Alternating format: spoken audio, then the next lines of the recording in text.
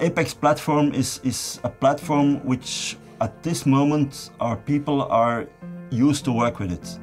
And, and what's nice about the Apex platform is that evolution is done in that platform and that you can easily bring your technologists, your nurses, your radiologists on a higher level without moving too much on, on the system. The decision was made because the clinical needs uh, required a system that could both image uh, patients with cardiac CT expertise and patients with oncology.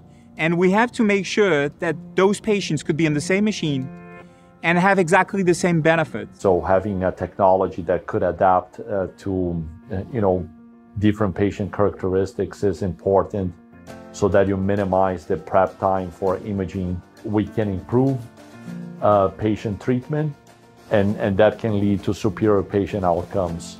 We had limitations on our regular 64 scanners where not only from BMI, heart rate limitations, cardiac conditions, so a lot of these cases we, we couldn't proceed. With the revolution, we've gone completely away from that. We've scanned already a patient uh, 70 BMI, um, which would be unheard of. We can image with any kind of cardiac condition from AFib. We can image pediatrics with doses that are almost fake. We've reduced contrast dosing by 33% throughout the system. It's been able to solve a lot of challenges that we were facing prior to it, uh, its installation. One of those was lowering the length of stay for patients that required cardiac imaging.